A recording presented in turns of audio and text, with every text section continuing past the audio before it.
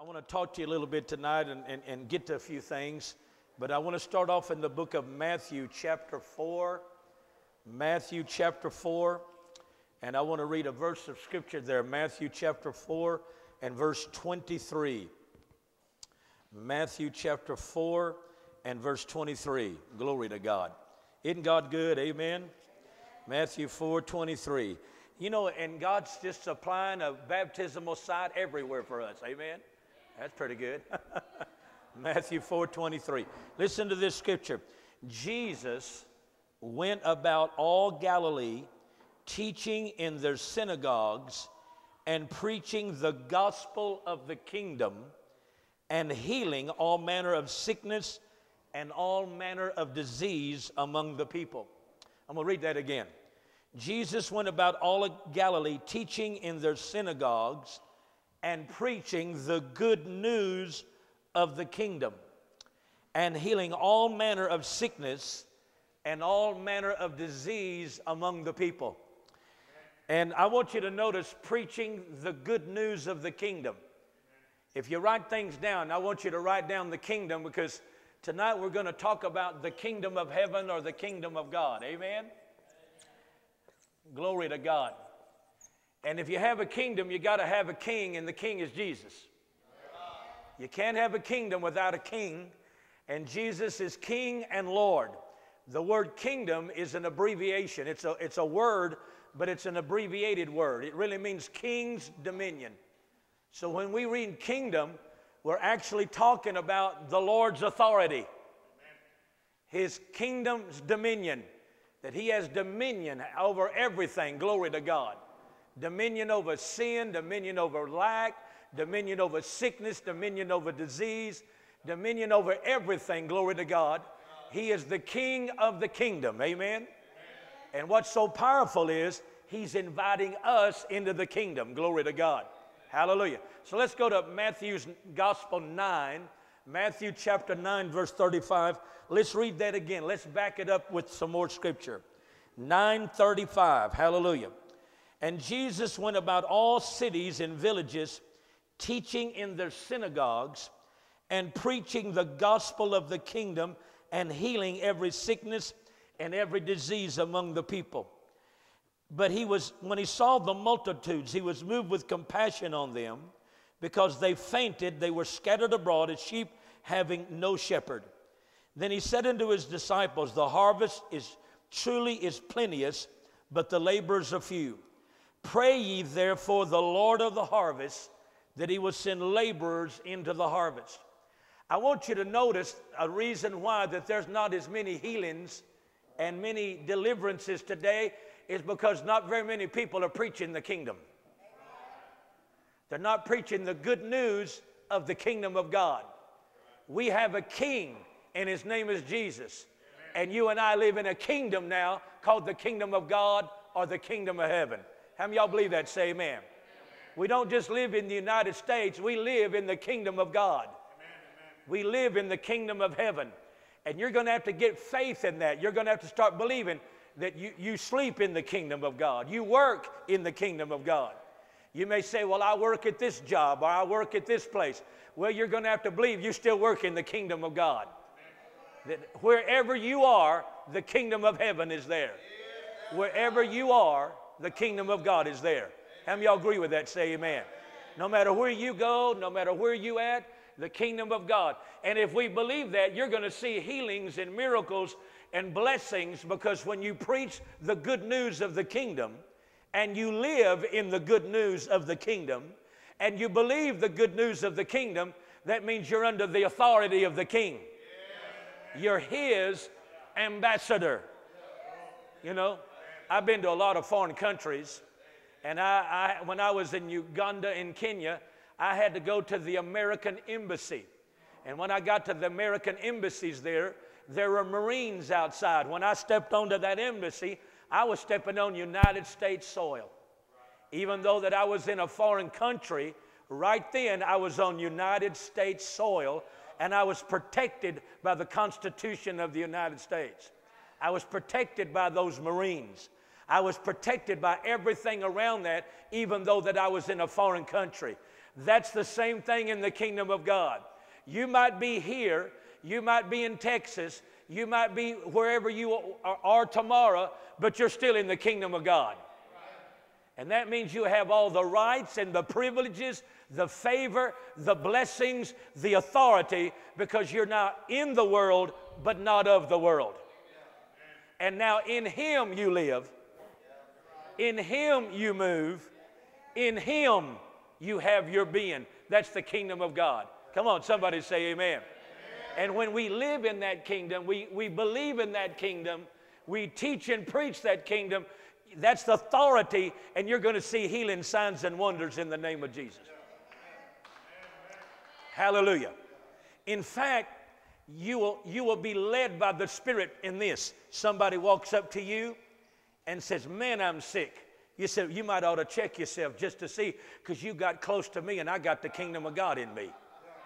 You might ought to just check yourself you might ought to just check yourself because you got you got close to me, glory to God, and I got the kingdom of God, and you're getting close enough to me. Come on, somebody. You're getting close enough to me to get some of that on you in the name of Jesus. That's living in authority. That's living in authority. So let's go to Luke chapter 12, verse 32. We're going to give you some scriptures and I'm going to show you some things. Luke chapter 12. I want to lay this foundation to you. Luke chapter 12 and verse 32.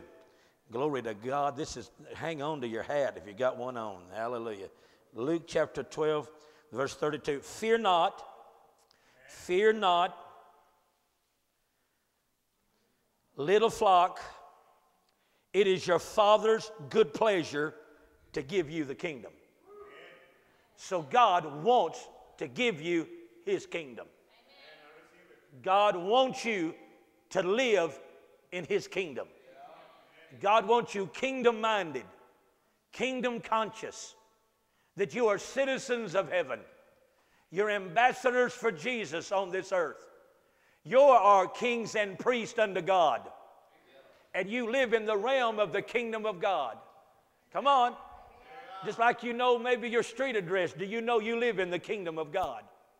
You live in the kingdom of light. You live in the kingdom of heaven right now. Glory to God. And it's God's pleasure. He wants to do it. He gets great pleasure in giving you everything that has to do with the kingdom. And He's the king of the kingdom. And that kingdom, that kingdom, ladies and gentlemen, doesn't fail. That economy is not failing. If you live in that kingdom, you're not going to have to be looking for a job, you're going to get you a job. If you live in that kingdom, you don't need to worry about the economy falling apart. You're living in the economy of the kingdom of God. Oh my God. Hallelujah. How many with me? Say amen. You don't need to say, well, that sickness is going to take. No, that, that sickness down here in this earth might can do it to you, but in the kingdom of God, no weapon formed against me. I believe I'm going to be healed by the stripes of Jesus. Come on. So that's, that's what I want you to do. It's the Father's good pleasure to give you the kingdom. Now let's go to Colossians chapter 1. Colossians chapter 1. Hallelujah. Now, give me just a little time. We're going to build this up just a little bit.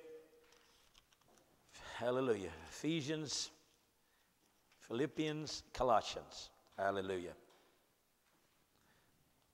Colossians chapter 1 verse 30.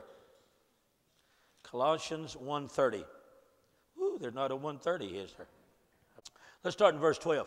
Giving thanks unto the Father, which has made us meet to be partakers of the inheritance of the saints in light, who has delivered us, who has delivered us from the power of darkness and translated us into the kingdom of his dear Son. Translated us into the kingdom of his dear Son. So when you got saved, you're no longer in the dark. You're now in the kingdom of Jesus Christ. Jesus is the king of the kingdom, and you are now translated. How many believe you've been translated into the kingdom of Jesus? Now, if you can believe that, if you can believe that, you are, no, you are in the world, but you're not of the world because you're in the kingdom of Jesus Christ.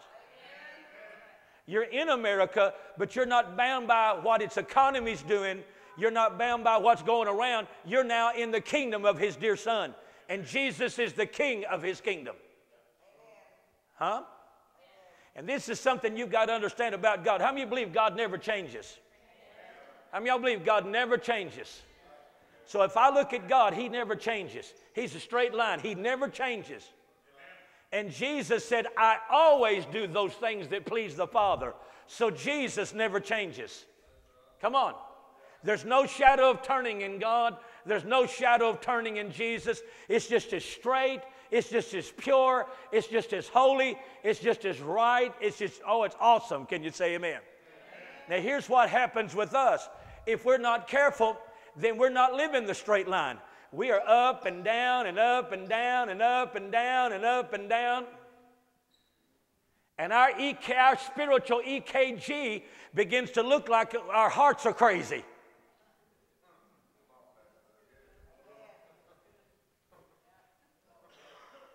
But when you believe God dwells in your heart by faith, are you with me? Then no longer you're going to live up and down. You're not going to live up and down anymore. You're going to have to quit living up and down because this up and down means you still are connected to the natural things of this world. That the natural man receives not the things of the Spirit of God that you're still going through all kinds of feelings and emotions and said, No, I'm not. If God doesn't change, Jesus doesn't change, the kingdom doesn't change, then I'm not going to change except from glory to glory in the name of Jesus. I'm not going to let what somebody goes through or what I'm going through get me up and then get me down. Come on. If I want to succeed, I don't want the devil again seeing these hills in my life anymore, seeing these valleys in my life anymore. I want him to see Christ in me, the hope of glory. Come on, somebody. I don't want this up and down business. How many of you know what I'm talking about?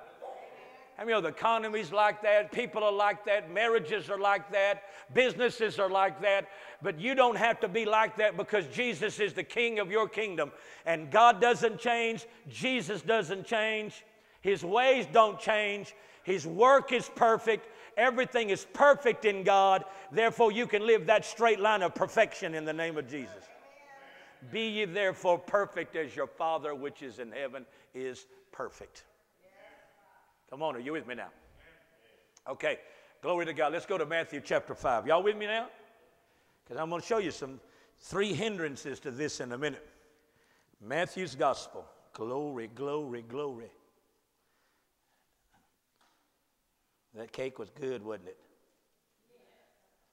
I told that lady, don't you put no more than 100 prunes in that thing.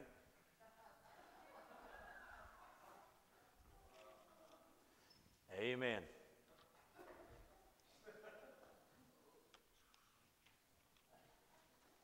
Sure got quiet in here, didn't it? Let's watch Celinda eat that bite. Glory to God. Matthew chapter 5. Y'all with me? Hallelujah. Matthew chapter 5. Glory to God. Verse number 20. Jesus is Lord. For I say unto you that except your righteousness shall exceed the righteousness of the scribes and Pharisees, you shall in no case enter into the kingdom of heaven. You shall in no way, in no shape, in no form, in no blessing, enter into the kingdom of God. You will not enter into his kingdom in blessing. You will not enter into his kingdom in health. You will not enter into his kingdom in the breakthroughs, the victories, everything God did, unless your righteousness exceeds the righteousness of the scribes and Pharisees. You can't enter into the kingdom of heaven. How many y'all with me now? Say amen. So, how does my righteousness exceed the righteousness of the scribes and Pharisees. Scribes and Pharisees tried to earn it by obeying the law. You receive yours by faith in Jesus Christ. Righteousness by faith is given to you as a gift from God that exceeds the righteousness of the scribes and Pharisees. And when you realize that you can't earn this righteousness, It's not by debt. You can't do anything to get it. You receive it by faith. Now, your righteousness, your right standing with God, is greater than any scribe, any Pharisee, anybody, anywhere, and you have complete access into the kingdom of God and everything the kingdom of God offers you. Many y'all with me? Say amen. How many y'all right now would tell me I live in the kingdom of God? Come on, how many with me right now? I live I breathe, I move, I exist in the kingdom of God. Come on. Because that's a whole nother place. There's no darkness there. There's no defeat there. There's no, there's no, there's no defeat at all. It's the kingdom of Jesus, and He's the king of that kingdom. The devil is not in the kingdom of God. He cannot get into the kingdom of God. He can't do it. He can't break through it, glory to God. Can't do a thing about the kingdom of God. And the reason why we have so many difficulties is that we got other little kingdoms rising up inside our lives sometimes. The kingdom of the past, the kingdom of failure, the kingdom of. Mm. I mean, y'all love me now. Say amen. All right, let's keep going. Matthew 6:10. Oh, God is good in the Lord's Prayer. Everybody say the Lord's Prayer. How many y'all love the Lord's Prayer? Oh my God. Let's just, let's just look at the whole Lord's Prayer for a minute and we'll see something. Verse 7 When you pray, use not vain repetitions as the heathen do. This is 610. 6 7, I'm sorry. When you pray, use not vain repetitions as the heathen do, for they think they'll be heard for their much speaking. Be ye not therefore like unto them, for your Father knows what things you have need of before you ask Him. How many y'all believe God knows what you have need of before you ask Him? Amen. Ask, seek, knock. Do y'all agree with that? But watch this.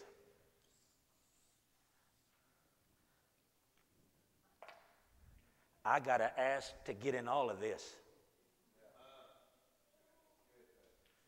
Many y'all with me? Say amen. You get it from me? Hallelujah. After this manner, verse 9, therefore pray, Our Father, which art in heaven, hallowed or holy be your name. Your kingdom come. Say that with me. Your kingdom come. The first thing that Jesus taught his disciples to pray, we need that kingdom in our lives. We need everything that this kingdom is in our lives. We need everything that the kingdom offers us in our lives. Come on. Just like I'm a citizen of the United States of America, and it's supposed to offer me certain things, right? But the kingdom of God is a sure thing because God is not a man that he should lie. Are you with me now? The first thing I'm to pray in the Lord's Prayer, the first thing He wanted me to learn how to pray was, Lord, I need your kingdom to come and be established in my life, established in my thinking, established in my home, established in everywhere in my life. Because where the kingdom is, is the king's authority and the king's, the king's uh, uh, privileges and the king's blessings. And everything the king gives you is in his kingdom.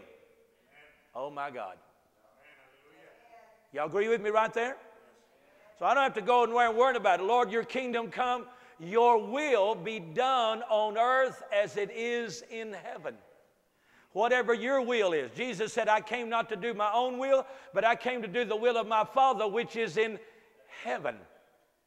He said, I only do what I see the Father do. I only say what I see the Father say. That's where you want to go. You want to get to where you only do what God says for you to do and say what God says for you to say. And you'll just get you'll get unbelievably blessed. Amen. Amen. So thy kingdom come, your will be done on earth as it is in heaven. Give us this day our daily bread. Let's try that together. Give us this day our daily bread. Now, I was, I was, I was looking at how much manna or bread that the children of Israel got when they were in the uh, wilderness for 40 years. So I, I went to some books and I began to go to different things. They received over one million tons of manna in 40 years. That's a lot of bread. How many y'all with me? Say amen. But I noticed something I never noticed before. That bread, they had to go outside, find it, stoop down, pick it up, and labor to get it. Because in the old covenant, you had to labor to get anything from God. Jesus said, God, Moses did not give you that true bread from heaven. I am the true bread from heaven. So you and I don't have to labor for that bread. We don't have to go out there and bend down and pick it up. All we got to do is believe it. Are you with me? So give us this day. Now listen carefully to me. When you believe you're in the kingdom of God, every day for the rest of your life, there should be a blessing in that day.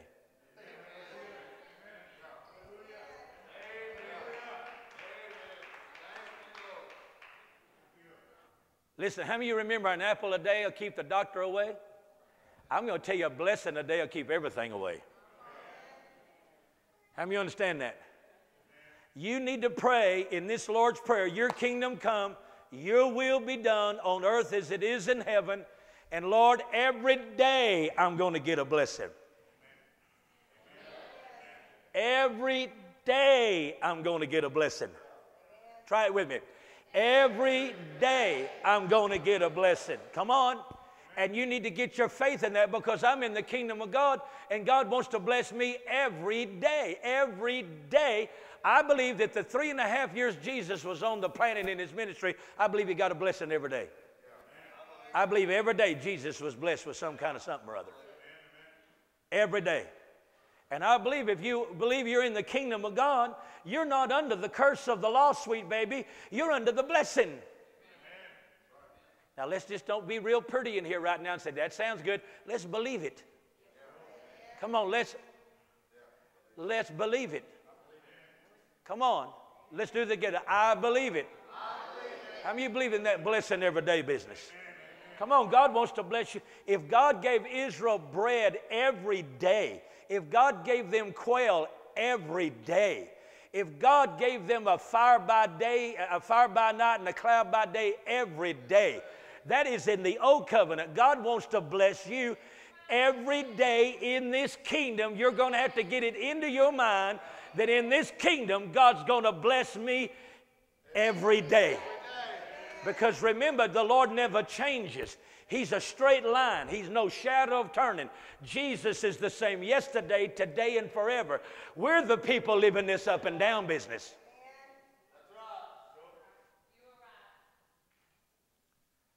Hallelujah. Hello. Y'all with me now?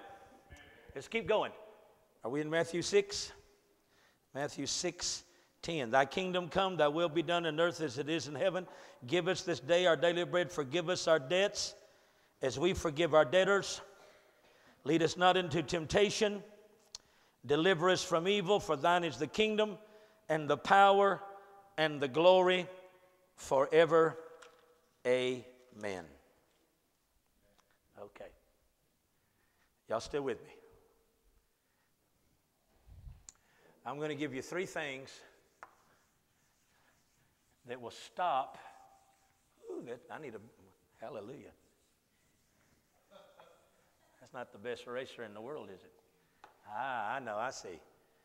Three things that will stop my blessings. Three things that will keep me from getting into the kingdom. Amen? Trudy, will you come up here real quick and, and clean that off for me and I'll write these down? Thank you. How many of you appreciate Miss Trudy? Amen. Amen. Three things. Y'all ready? I wrote these down today. I want to stay with them. The first one is rebellion. There can be no rebellion in this kingdom. How many ever had rebellion in your home? It wasn't fun at all, was it?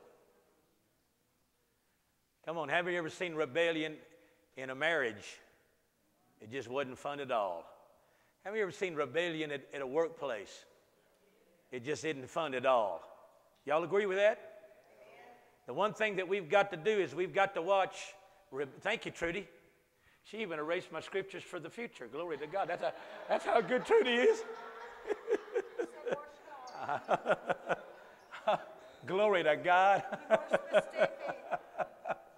You got to be really specific with Trudy. Do this right here, Trudy. Everybody say rebellion. rebellion. I won't. That's a good Texas word. I won't do that. I'm not going to do that. I'm not going to believe it. I'm not going to do it. That's rebellion. I won't. I won't believe this. I won't do this. I won't act on this. If I'm in the kingdom of God, I've got to do what God wants me to do. I've got to believe just like He wants me to believe. I got to think just like He wants me to think. Did you know if you read the book of Philippians, you and I ought to be thinking the same thing sometimes? That's what it says, uh, that we all think the same things and speak the same things. What kind of home would you have if everybody was just thinking the same way? It'd be a blessing now, wouldn't it? What kind of work would you have if everybody was all thinking the same way about that business? It'd be pretty great, wouldn't it? But how many know that not everybody thinks the same way? In the kingdom of God, we have got to think the same way. In a church, we have got to think the same way. Are you right about it? How many listening to me say amen? We've got to think the same way. Are you with me now? So if I've got, let's say I got, I got a picture today of Matt and Jody's little boy who went into the kitchen, got the lasagna out of the refrigerator, and went into the carpet and started eating it with his hands. How many know that that's thinking different than his daddy and mama was thinking? but I did love that picture. he got in a little bit of trouble. So let's, let's just use Jody a little bit. Let's just talk about, let's say Jody's doing something and people look at it and realize that we've got to think the same way about Jody. All of us do. Instead of somebody saying, Well, I don't like this and I don't like that. No, we're not that. We're not the world, we're the church. And we got to think maturing, and we got to think blessing, and we got to think growth. And we got to think the best. We got to think things that are lovely. We got to think things that are pure. We got to think things that are honest and of a good report. and somebody comes in and they don't dress like everybody else. They don't have anything. But you and I got to think the same thing about them. And they come in and they're just a little bit messed up. But we got to think the same thing about them, or we won't have an atmosphere for the miraculous to change them. This is living in the kingdom. Are you with me?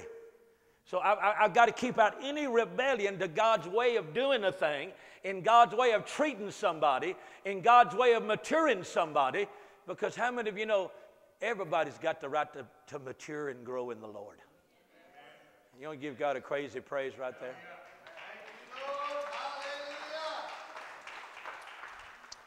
Okay, the next one is resentment. Resentment.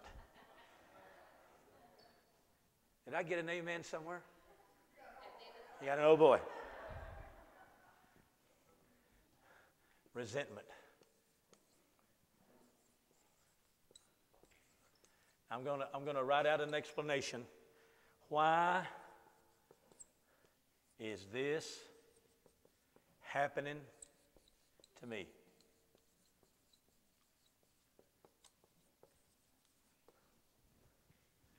Get you and your mind out of believing you're in the kingdom of God. Why is this happening to me? Why is this happening to me? Why is this happening to my child? Why did this happen to my that? Why did this? Why is this? Why is this? It's the enemy building resentment, if he can, up on the inside of you and resentment will keep you from receiving the kingdom of God because you can't live in resentment and receive the kingdom of God. Y'all accept this from me? So you see, that's the reason why the enemy has worked on some of your children, some of your finances already. He was doing stuff even before you ever even got saved, so that after you got saved, he could keep some resentment somewhere in your life or in your family.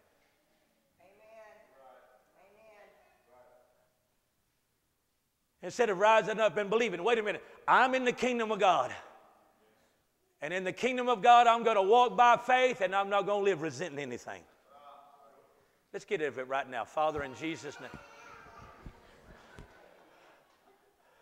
Father, in Jesus, I, I wash myself in the blood of Jesus, and I get resentment out of me in Jesus' name.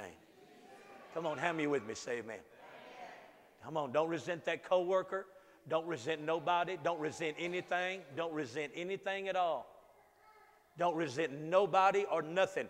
Don't resent yourself. Don't resent something. Don't, don't let no resentment get on the inside of you. Why? Because that's the devil's way of keeping you believing. Wait a minute, I'm in the kingdom of Almighty God. Hallelujah. Wait a minute, I'm going to enjoy the kingdom of Almighty God. You can't enjoy God and live in resentment. Y'all agree with me there? I'm going to give you one more independence. Everybody say independence. Ooh, that's a big one.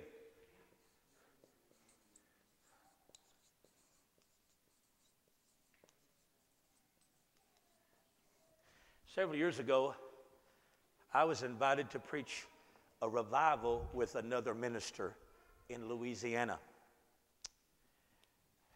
He preached the first night, I preached the second night, he preached the third night, I preached the fourth night, back and forth. It's like seven nights. And so, man, I, I just couldn't, I just couldn't get with this guy. I just couldn't get with him. I couldn't, I couldn't, I couldn't connect with him. I couldn't, I couldn't even get along with him. I tried my best just to get along with him. And finally, one night he said to me, You want to go out with me after church tonight? And I said, What do you mean? What do you, what do you do? He said, the only way for me to get the anointing on me is for me to go out and just get dog crazy drunk. Well, how many of you know that that was him living in independence or him breaking his anointing? Mm. He said, Man, the anointing's so strong in me that I won't even be able to sleep or function. I've got to do something fleshly to uh, get it off of me. Well, I'm going to tell you today, he's not even in the ministry no more. That other got control of him. Yes. Independence. How many listen to me about independence? You cannot live in the kingdom of God unless you let Jesus be the king. And that means you're the subject. That means he's got the authority and you're under that authority. Come on. So that means I'm going to watch what I think. I'm going to learn the Word of God and see what it tells me to think. I'm going to read the Word of God and see what it tells me to say. How many of you heard that church up in uh, Grapevine, Grapevine, uh, South Lake, that big church up in South Lake? Gateway. They just took a minister into their church, uh, took him into the church because he would get up in his church of thousands and use cuss words. And he believed that God gave him the right and it was okay for him to get up and cuss in front of his church people. I'm talking about every kind of foul language that you can imagine. And so he was invited to preach at Gateway, and Gateway found out about it and said, No, you can't come. And his, at the same time, his church fired him, and Gateway brought him in to train him how to talk in this kingdom. I mean, you know, that's a nice thing. In this kingdom, you got to speak the word. In this kingdom, you're, you're told how to think. You're told how to speak. You're told to walk by faith, walk in love, walk. How many you with me now? Say amen. When you live in this kingdom the way the king says to live, then you have the king's dominion and authority in your life and you won't be up and down. When down tries to come, you say, No, the Word of God tells me to think like this. I'm not going to think down. I'm going to think like the Word of God tells me to think.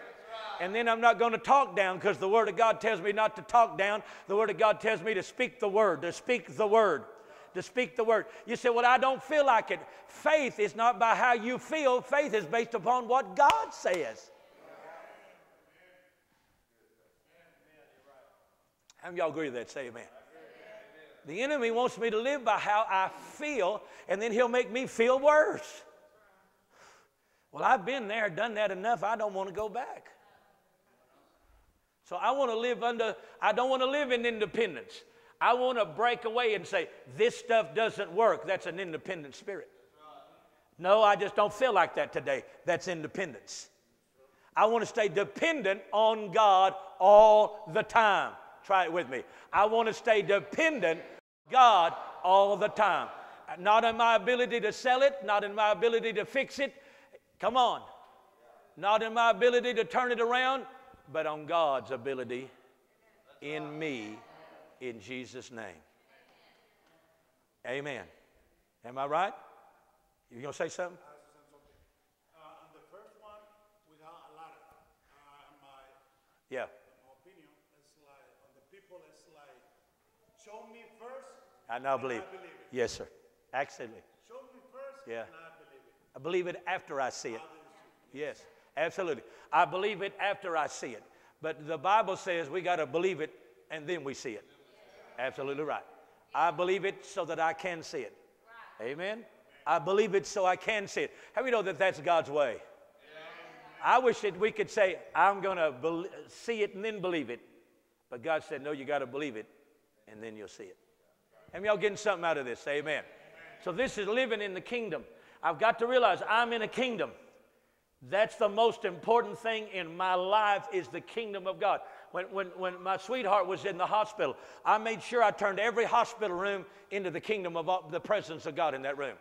When she was in ICU, I made sure I, I put it in there. I read the Word of God. I, I, I would dance around the bed. I'd lift up my hands and praise God. I'd, I would, everything. We'd ask the nurses to pray with us. We'd ask the doctors to pray with us. We, we did everything to make sure thy kingdom come.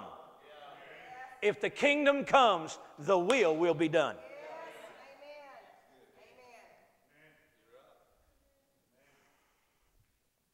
Amen. Are y'all with me now? Okay, let, us go back to some of these scriptures just a little bit because we're, we're running out of time. So I, I want to get that resentment out of the way. I want to get that rebellion out of the way. I'd rather do it myself. I want to get all that independence out of the way. In Jesus' name. All right, let's go to Matthew 6:33. Seek ye first the kingdom of God and his righteousness, and all these things shall be added unto you. Are you, are you with me now? Seek ye first, everybody say first, is the kingdom of God. And the kingdom of God is God's way of doing it. The kingdom of God is God's dominion. God's dominion. Uh. Seek ye first the kingdom of God, or His way of doing it, His way of believing it, His way of receiving it, His way of acting on it, His way, His way. Seek ye first the kingdom of God and His righteousness. Here's the, here's the blessing. All these things shall be added. Hallelujah. Added. Amen. All these things shall be added. Added. Added. Added. Woo. Thank you, Lord, unto us. Glory to God. How powerful is that, ladies and gentlemen? Glory to God. Hallelujah. Thank you, Jesus. Amen. Matthew 28 18, Jesus said, All power has been given unto me in heaven and in earth. All authority. All authority in heaven and in earth is in Jesus' power. Every, in, in heaven and in earth, all authority is His. Then He said, Go ye into all the world and preach this gospel. Preach the good news that I have authority over everything in heaven and everything in earth. Preach that good news. And when you slide underneath His authority, then you have authority. When you slide underneath His authority, then you have authority. And when the enemy says, I think I've told y'all about Mark uh, White calling me on the phone trying to cast out a devil in a girl at a church, and he couldn't get it to go. And I, he, gave, he called me on the phone. I'm at home. And he said, Randy, I can't get this devil out of this girl. And I said, What is the devil saying to you? He, he says, He's telling me to kiss the girl. That's what he said to me. I said, Man, aren't you in a church now filled with people? He said, Yeah, the pastor's here, the pastor's wife is here, all of these people are here, all of these people are praying. And he said, All I can hear is the devil telling me to kiss this girl. And I said, What the devil's doing is talking to you instead of listening to you. I hope you just heard what I just said. You're either going to be in one of two states. He's either talking to you or listening to you. And I said, Put that phone up to that girl's ear. And I commanded that devil out in the name of Jesus. And then he took the phone, he said, Thank you. And I said, You be sure and send our church a tithe now in the name of Jesus. he didn't do it. I'm going to have to call him on the phone. Have y'all with me? Say amen. Why couldn't he do it? He asked me, call me later on from the hotel. Why couldn't I do it? You, you, y'all, some of y'all know Mark White. I said, because you were listening to the enemy instead of listening to the Word of God. You were listening to the devil instead of him listening to you. Now, you listen to me. When you're listening to the devil and he's winning it, you're, you're losing your authority. And what's happening is you're getting emotional, you're going down, you're getting fearful, you're getting worried because you're listening to the enemy, and your, your, your ability of authority is diminishing when you're listening to the enemy. And you got to stop and say, No, I'm going to quit listening to you, and you're going to start listening to me right now. Right now. That's right, there's the devil in that girl. He had a horrible time. Horrible time. He told me that something was pushing on the back of his head and he was getting closer and closer. I said, Man, you, oh my God. What, what, what, what power would make a minister kiss a woman that he never met in front of uh, hundreds of people in a church? It's a devil. It's a devil. How many know it's the same devil that'll push us into crazy stuff? So if you're listening to him, he's not listening to you. Y'all agree with that right there? Come on. Come on. Hallelujah to God. And he wants to put something that you can see. Because when Peter saw the wind boisterous, he began to sink. Okay. All right. Are y'all with me now? Glory to God. Hallelujah to God. Hallelujah. Let's go to Romans chapter 14, verse 17. This is, the, this is where I've been going to get right here. Don't y'all appreciate this? I do. I just thank you, Jesus. Thank you, Jesus. I told the Lord that I want to see everybody healed that walks into this church for a solid year. If, if it happens a year, it's going to happen from then on. And, and I've got my eye on that baby right there. And I got, I, and I got my eye on others. How many y'all with me? Say amen. And, and other things. How many y'all with me about that in the name of Jesus? So I have been praying